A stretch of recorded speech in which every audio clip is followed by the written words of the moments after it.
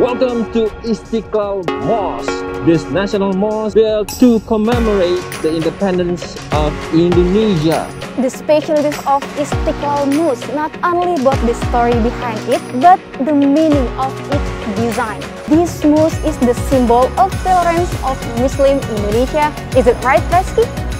Yes, that's right, Fifi. People of Southeast Asia, that's it for today. See you again On the next story.